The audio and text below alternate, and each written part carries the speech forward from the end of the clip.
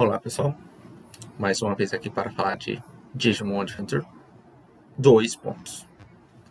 Bem, o episódio começa, como sempre, no mesmo ponto que o outro parou. Neste caso, com a Ricardo e o Skunetomon indo embora no meio do Dramon. Logo em seguida, depois de mostrar o Tite correndo desesperado, tentando alcançar, correndo, ela nos mostra algumas cenas de como os outros estão ao redor do continente. E após isso, os rápidos flashbacks já mostra o Tahiti e o Agumon se encontrando com um grupo de Woodmons, que estavam escondidos, juntamente com algumas Budmons, a parede da Lalamon e uma única Lopmon. E eles dizem que estão se escondendo, porque são pacíficos, não querem briga, estão se escondendo principalmente dos Digimons que querem devorar outros Digimons para que assim conseguisse evoluir.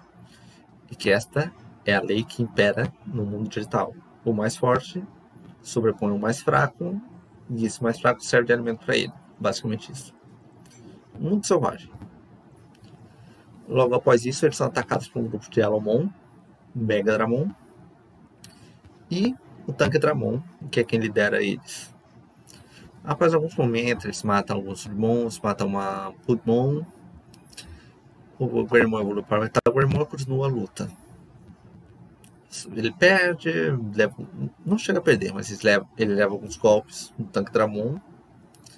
Até que a Sora e a Garudamon chegam ao, ao resgate. Pela primeira vez, alguém que não é Taichi Yamato ajudando alguém nesse nível.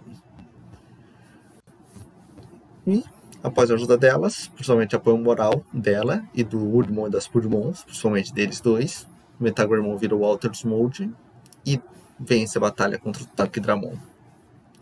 Só que mesmo assim, ainda tem vários Alomons, vários Megadramons estão chegando mais, sendo acompanhados pelo Bahormon, o Lord José Digimon.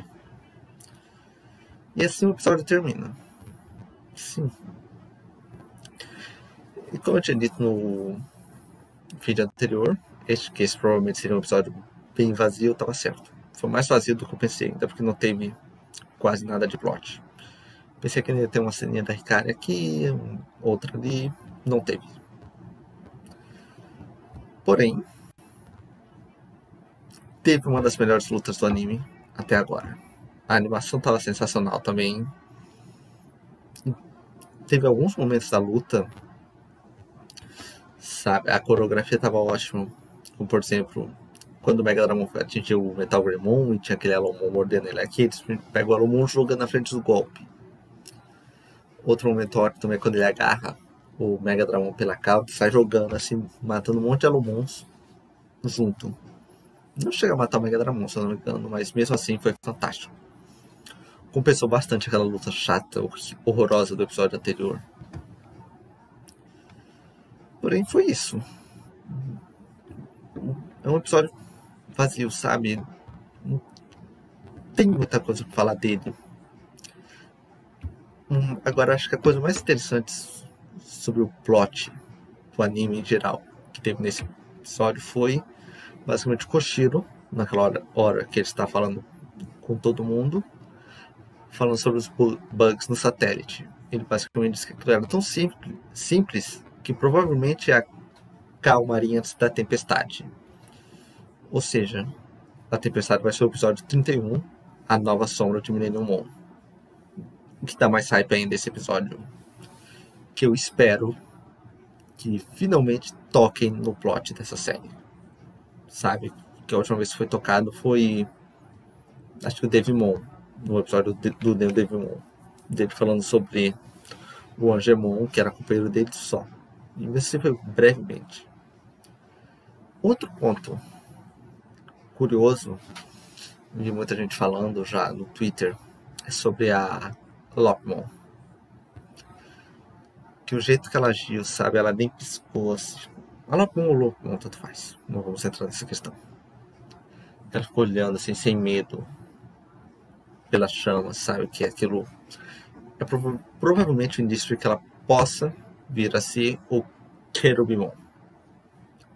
Embora ainda pouco difícil, não vou dizer que não é, porque esse anime está surpreendendo bastante.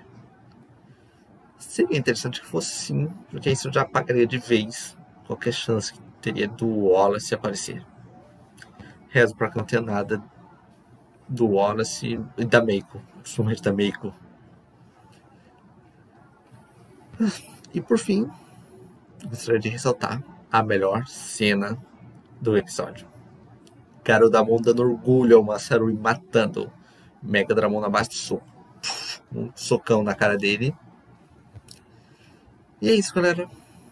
Até o próximo episódio.